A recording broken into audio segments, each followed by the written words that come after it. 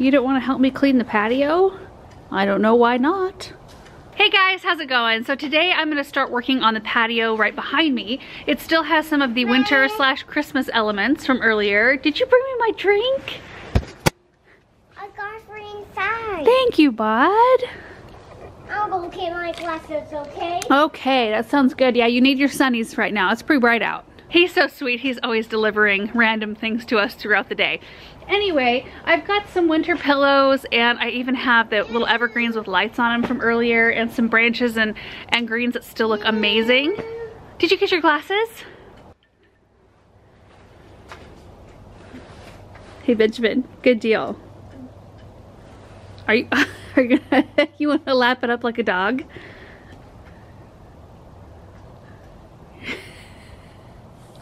you know you're not supposed to, huh? Benjamin. So things aren't looking too bad up here. I mean, I really want to address the window boxes. We'll remove the ivy that's been in here for two years and I'm ready for something new. It's getting quite gangly as well. And then the ornamental kale, or cabbage rather, has seen better days. I would like to leave the boxwoods because I love that structure and I like the fact that it adds some winter interest, but it doesn't take away from any of the view you can see from inside.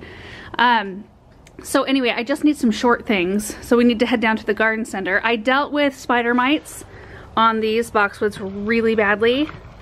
See all that damage? Horrible. But I was really diligent about spraying them last season and they even put on some new growth. So I'm hopeful that they will rebound and start fluffing and filling in a little bit. I've got winter themed pillows still on the benches. They've got trees on them, like Christmas trees. Thankfully they weren't like in red and green. That way I could get away with leaving them through winter. And then I've got to remove these evergreens, which they're still in their nursery containers inside those pots. And then the Christmas lights, of course. I let those roll a little bit longer than I normally do. And Benjamin, did you find some snow in the shade? Haven't decided if I'm gonna leave those urns or not. They still have branches and greens from this winter, which the greens still look almost as fresh as day one. I sprayed them with that wilt stop. And then the blue spruces, these are meant for the new property. And I'm gonna be sad when the, those leave because I really like the structure up here. I wish they stayed smaller, but they'll get like 40 to 60 feet tall and 20 feet wide. Much like this one right here. They'll be majestic and gorgeous.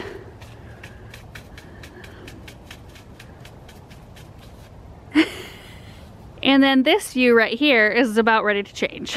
Quite a lot. Quite drastically. All right, bud, I gotta go get some flowers. All right, here we are. So these carts are always full of some fun stuff. There's more of the minnow daffodils that I bought for the pots that are in the greenhouse. There's some tulips, primrose, lots of bright color. Let's head down. I kind of want to look at everything before I make any decisions here because that's just the fun of it. There's some hellebores, which we might need for the two pots flanking the door. Definitely not probably for the window boxes. I think those would kind of take over the boxwoods. More primrose here. Oh gosh, they're so pretty. I like that color. Really bright. And here's pansies and violas. I am always such a sucker for this one right here. This is a penny, Viola Penny Primrose bicolor right here. I just love the yellows in the spring and I like these too. They're so cheerful. All right, let's go check out the greenhouse. I'm not sure that they have anything in there right now and they're probably expecting a new load. I bet you probably like right after I leave or uh, sometime tomorrow. So anyway, there's some ferns in that greenhouse right there. I picked up a couple of those earlier on. Ooh, I think I see a bunch of hellebores in this greenhouse. Oh my. Ooh, look at this, you guys. Oh, it smells good in here. It always smells good in a greenhouse. Look at how beautiful. That one's really nice. It's called Love Bug. It's kind of a bicolor cream and blush pink. Spring Party. What is that? HGC Merlin. That is a beauty. Look at that. Gorgeous thing. Oh my goodness. Well, let's go look in the big greenhouse. Ooh, those little lollipops might be cute. In the two pots by the door. Except they're some type of Alberta spruce though, huh? Yeah. Hmm. They sure are cute though. Oh, not a ton going on in here. Looks like some pansies, some anemones, some iberis. These are nice. Nice little pop of color, little white. Oh, there's some scents. Silver King, Red Heart, Black, and Jade Rose. I do think those two lollipops would be perfect for those containers though. I really do. I think that the um, scale is just perfect. Okay, so maybe those surrounded by some hellebores. Yes. I think I'm just gonna grab a cart and start loading it up with some things. Typically I load it up with a bunch of stuff and then I reassess at the end and decide what things I really wanna keep and what things will stay here. You found me! Do you know how to get into that? Of course. Nana taught you, huh? Found a couple of lollipops I'm gonna put in those pots by the balcony door. Oh, cool. That'll be nice. Yeah, they're the perfect scale. In fact, you can see them right by the pineapple fountain. Okay, so now I think I'm just gonna run around and grab some things and kind of kind of hope for the best. I might not tackle the window boxes just yet. I might wait until they have a few more bulbs um, on hand, like pre-forced, pre-planted bulbs, because I kind of imagined a bunch of daffodils, like the little ones, um, um, right below the boxwoods, but I'm just not sure. We'll see.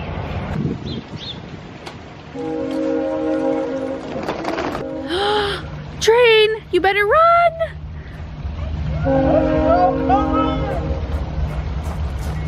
Gotta run and see the train.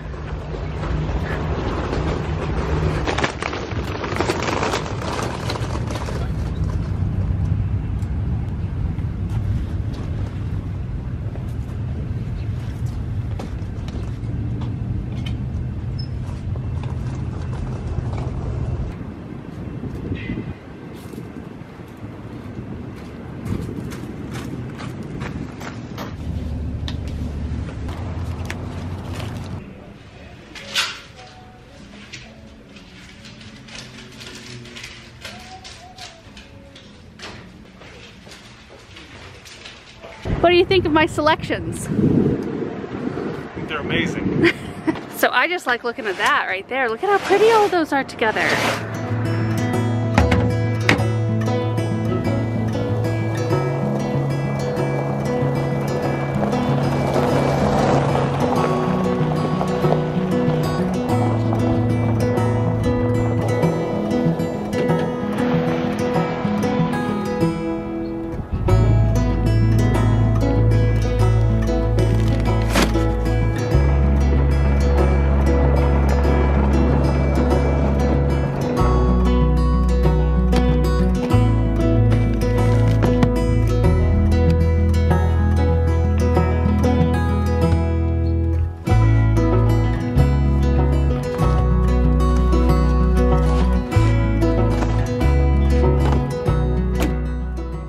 The most glorious load of flowers? I love it. Like I kind of just want to leave them all lined up right here. They're gonna be beautiful, but I had intended on fitting these spruces and the hellebores in the same containers and I don't think it's gonna happen. I think the root balls are too big. Like we've got that root ball right there, and then these are one gallon size, but typically hellebore root balls are really tough to manipulate and they don't really like to have their roots manhandled too much. So I'm gonna start with these containers right here. So we'll see how it goes. I may just get these two planted and possibly the two urns. I'm not sure that I got enough matching stuff to do window boxes today. That's okay, we'll just save some fun stuff for another day. Let me show you real quick. So I did burlap around the nursery container and just sunk it right down in the pot so I didn't actually have to plant these spruces knowing they were only gonna be in here for the winter time. It worked out really well. All right, now for the fun part.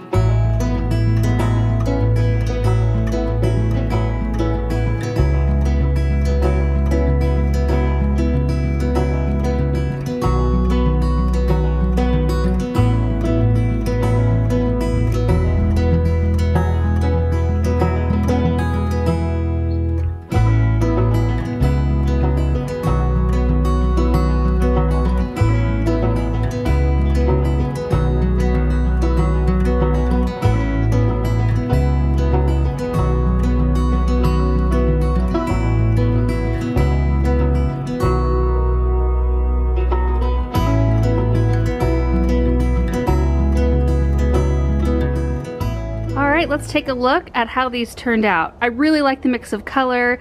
I was able to utilize some of the ivy from the window boxes in these containers. I think I used four in each pot. I cut them back quite hard, but I think that they'll flush more growth here once we get a little bit warmer. They should fill in beautifully, as will all of these spring flowers. I mean, all of these will get a lot bigger and a lot more full of bloom. And I just love the purple and yellow violas mixed with these giant yellow pansies. I mean, look at how huge these blooms are. And then the light blue primrose. It's just a really pleasant, beautiful spring mix of color. And then these lollipops are nice because they can really stay in here indefinitely. There's cheddar and there's the second one.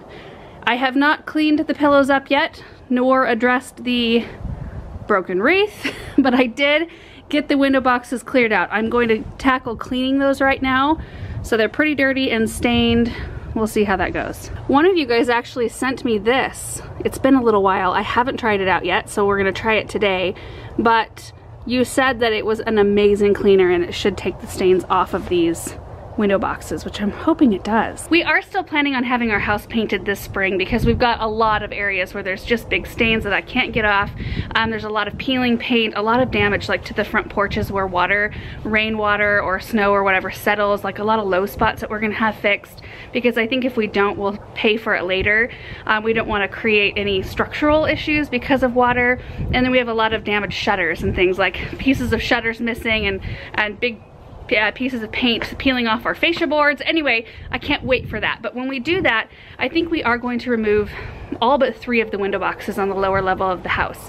So I think we're gonna leave these two and then the one on the kitchen window. Um, just because that'll eliminate one, two, three, four, five, six window boxes. That takes an enormous amount of plants and it takes you know, it takes time and I think eventually we would like to have a wraparound porch around the bottom of this house and having window boxes does kind of narrow down the walkways along the sides of the house. So eliminating window boxes on the sides will help with that, make it feel a little bit more roomy. But up here it doesn't matter as much.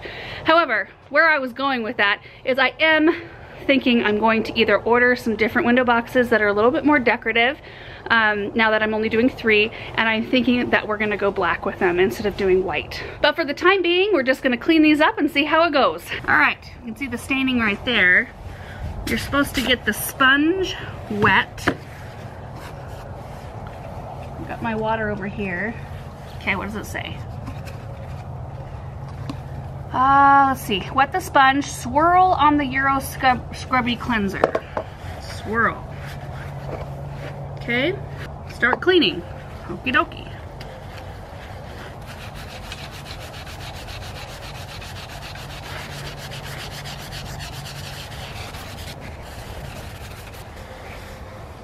Not too shabby.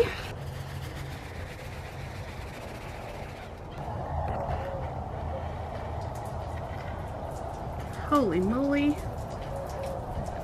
Well, that's not too bad, is it? That looks pretty darn good. wow.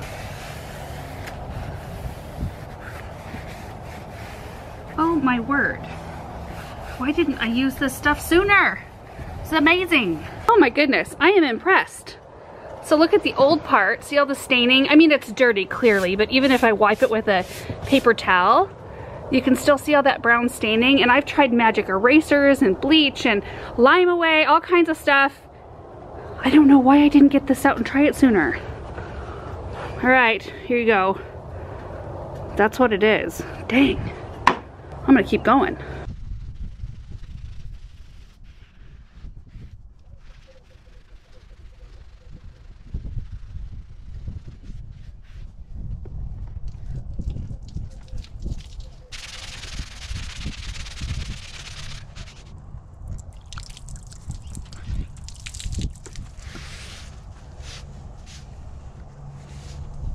Oh my goodness, look at how clean that is. Ignore the backside of it. I'm gonna get a little broom back in there first because there's some cobwebs and stuff. And then I'll reach back in there and clean that off. But whoa, I am just so impressed. And before we lose light, here are the other two containers. Whether or not I keep them here is still up in the air, but they look pretty for now. And there's no way I'm gonna move them by myself. So I figure, well, I had plants to fill them, so may as well. Um, so I ended up using three hellebores and seven of the pink primrose and then a few of the red twig dogwood because without those, without that height, I was kind of missing it. It was a little bit sad without them. And I'm just loving it. I love how the pink of the primrose brings out the pink in the hellebores. And it all goes. It just is so pretty. There's still quite a bit I need to do up here. So I'd like to fill the window boxes with some spring color. Um, I'd like to either get new wreaths, spring wreaths, or fix the ones that are there and then spring pillows and maybe like a bright blanket or something like that. Um, just to bring a little bit more color up here. I mean, there's opportunity to put more containers if I decide to do that or I can take these urns right here and put them somewhere else. I don't know, it's just fun to do it a little bit different every single year and move things around because it freshens up the stuff that you have.